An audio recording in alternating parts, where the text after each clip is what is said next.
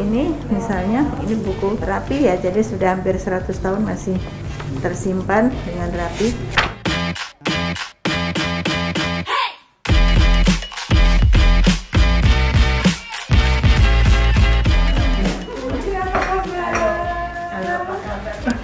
Makasih banyak waktunya kesediaannya. Aku pengen meluk, cuma sekarang prokes nggak boleh melukan.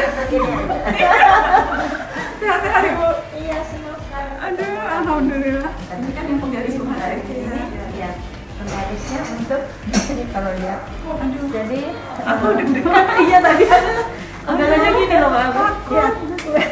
Ini tahun 42 sampai 49. Jadi ini garis-garisnya pakai penggaris itu. Jadi kalau sini turun. Ini masa perjuangan ya 42 49 ini catatan Bung Hatta. Iya. Ini tapi rapinya itu loh. tapi ini nggak tahu ya eh, konversinya berapa. Iya, dulu kan Setiap tahun loh tahun 50, Iya, terus ini. tahun 42. Rapi Iya. sekali. Iya itu. Nah, Rapi banget. Dan total berapa? rapi. Pengeluarannya nggak ada ibu, ini cuma pemasukan. Eh, nggak, nggak kayaknya. Kayak Saldo. saldo. Jadi nggak dimasukkan ke bank ya, jadi ini ya, Eh, enggak, ini untuk pribadi. pribadi. Tapi saya juga nggak ngerti bacanya bagaimana. Bukan orang. Aduh, ini ini istimewa banget. Jadi kalau perlu penggaris, nah ini dia penggarisnya untuk bikin. Lihat tuh detail. Iya, Lihat ya, ini tulisan April masuknya sekian. Iya, kalau pengeluaran mungkin lain lagi. Jadi eh, ini diketik tahun berapa itu? Eh, 78. 78 juga. Tapi pertama kali terbersit eh, wasiat niatan untuk Iya. dimakamkan bukan di Taman Makam Pahlawan itu tahun 75. Iya, itu yang ditulis di situ. Pada waktu itu memang sudah sakit-sakitan ya, Bu? sudah eh, atau tambahan itu adanya di begini. Dan ada yang agak parah juga seperti ini. Gitu.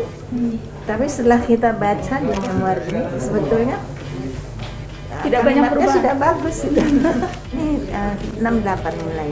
Tahun 68. tahun 68 kemudian jadi memoir ini Nah, ini yang pertama Ini cetakan pertama ya, Bu? Iya, ini untuk saya. Tapi terus kita waktu Ini tanda tangan Bapak? Iya, ini sebetulnya jadi draft draft koreksi karena banyak salah. Ayah saya marah-marah. Pas melihat ini. Iya, jadi ini saya gunakan untuk koreksi-koreksi. Jadi yang untuk negeriku itu yang ada tiga buku Itu itu, dari sini. dari sini ya, Dipecah. menjadi tiga buku. Iya. Jadi ini salah satu dari sekian ratus koleksi buku Bung Hatta ya, Iya, ribuan. ribuan. Tapi yang sekolah ya mungkin Sekarang buku-bukunya di mana ya itu Ibu? Masih ada di rumah? Di rumah ya. Nah, ini misalnya ini buku rapi ya, jadi sudah hampir 100 tahun masih tersimpan dengan rapi. Tapi kalau ada kadang-kadang ada coretan-coretan itu.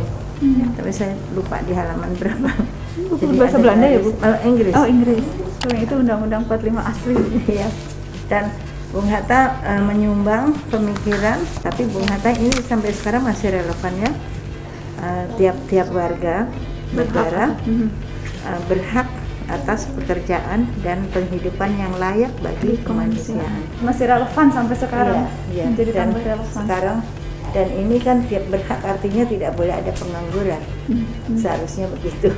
Jadi Bung Hatta berpikir tentang masyarakat. Jadi mungkin kalau eh, tentang keteladanan yaitu jadi pasal-pasal di mana beliau ini konseptornya 33 dan 34 Hmm. Fakir miskin anak terlantar di pilihan negara. iya. Ini kan sudah ada tambahan-tambahan. Hmm. Tapi core-nya itu ini- intinya ini adalah tanggung jawab negara untuk memperhatikan, memajukan rakyat. Mhm. Mhm. Dan ini sistem perekonomian nasional ditujukan untuk kesejahteraan rakyat Indonesia. Hmm. Jadi kalau sekarang rakyat Indonesia tidak sejahtera di negaranya sendiri, yaitu melanggar pasal ini.